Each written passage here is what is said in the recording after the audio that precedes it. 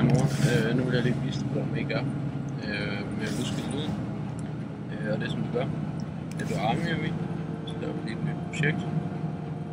Det kalder vi øh, for mor, fordi udopstegn. Så opretter vi det, ganske normalt. Så tager vi lige et lille sjovt klip, det kan vi rigtig godt lide. Det er, øh, er min mor og Anita. Den bliver overrasket. Det kopierer vi lige. Vi herinde. Samtidig så har vi nogle billeder, som vi lige har lagt over i iPhoto hernede.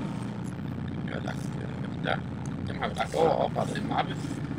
Den mappe, den kan så hedde, øh, jamen altså, hov, hvad er det, musik eller øh, Den kan så hedde alt muligt. Øh, her der kalder vi den her, den hedder Silje. Der var ikke lige nogen billeder i. Så hedder den kunne jeg bare selv oprette den. mappe. Kopierer vi så det der, så trækker vi det herover. Lige gør, gør sådan, så det ligger inden klippet.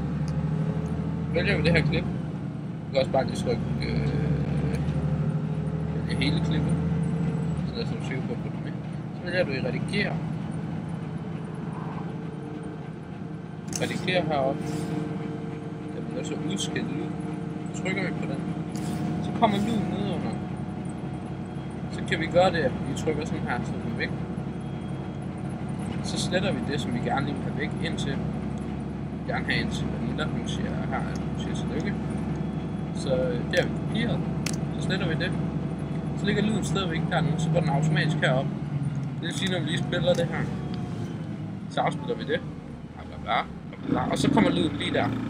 Her kommer den så. Der bliver den så ved. Bla, bla, bla. Bla, bla, bla,